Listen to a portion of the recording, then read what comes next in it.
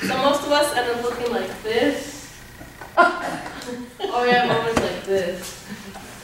But did you guys know that um, only 15% of teens report sleeping eight and a half hours on weekdays, according to the article of Teen Sleep by National Sleep Foundation? Um, in relation to health relation, not getting enough sleep impacts your body. Um, it impacts your lack of alertness, your impaired memory, according to mindful.com, um, your quality of life, it increases your chance of a car accident, according to dri- um, drowsydriving.org, and it gives you long-term effects like high blood pressure, diabetes, and increases your chance to heart failure.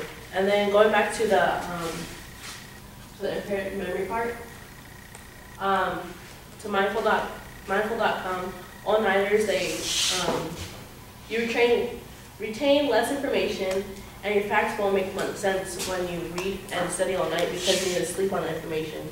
And it's your um, gives you a better chance of being in a really bad mood and really crabby. Um, you'll probably feel like a little crazy if you do this for a long time because sleep um, deprivation can also cause short-term euphoria. You know, you know what that is, right? Where you're like just really happy and energetic, and then just uh, yeah. um, and then you increase your development for insomnia. Um, like the NPR likes to say, our brain is like a washing machine, and our brain has what I like to refer to references reference it as brain food. Um, getting a good night rest is very vital to your body because the flow of cerebral cerebrospinal fluid it increases it. When sleeping, the brain increases dramatically the flow of it, and that's um, it washes away harmful waste proteins that build up in your brain cells. Um, and while sleeping, your brain shrinks, and it makes it easier for the cerebrospinal fluid to flow through the brain. And then, according to the WebMD, our brain is like a bank. Um, the amount of sleep a person needs increases if they are sleep deprived or haven't gotten much rest in the past couple days. Because um, that creates like a sleep debt.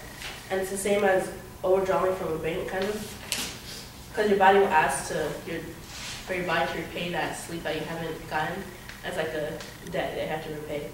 And with this said, um, sleepdex.org says that one can like store up sleep and use it for later. It's not, it's like a bank, but not really because you can't really use it like that. And you can't expect to overdraw and not expect a penalty. It's not really possible to make up sleep on the weekend because that's the sleep you need for the next day. So once you create a debt, you can't really get out of it. Um, the sleepnet.org also states that not getting enough sleep increase, increases obesity and gain weight. And weight gain because you're more likely to crave fatty foods at the end of the night. And then uh, going back to the National Sleep Foundation, there's given some tips on how to have healthy sleep habits, or like to say, a sleep good hygiene. If you, sleep to a, if you stick to a sleeping schedule, um, it'll help you regulate your body's clock and help you fall asleep. And then uh, it'll help you stay asleep for the whole night. And even do it on weekends because your body will get used to it and it'll have like a clock already, like an actual body clock. Um, if you practice your regular bedtime rituals, so stay away from uh, bright screens for your eyes, um, because your body, like, it knows when to be away from the bright lights. But if you um, are away from that during the night and you lay in bed, then your body will know this is some time to relax, like to calm down. And then um, keep your phone away from your bed because that takes away the brightness of your phone. Temptation to grab, temptation to grab it. And then uh, it'll just train your whole body to train your whole body to not sleep at that time, and uh, stay away from power naps. Like power naps sound really great, and uh,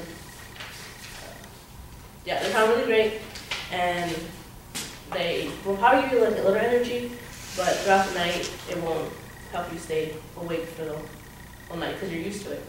And then they recommend to da- exercise daily, so that would help. And then evaluate your sleep, like if you have any distractions, like any noise, they recommend earplugs or what are those called? They have like Mask.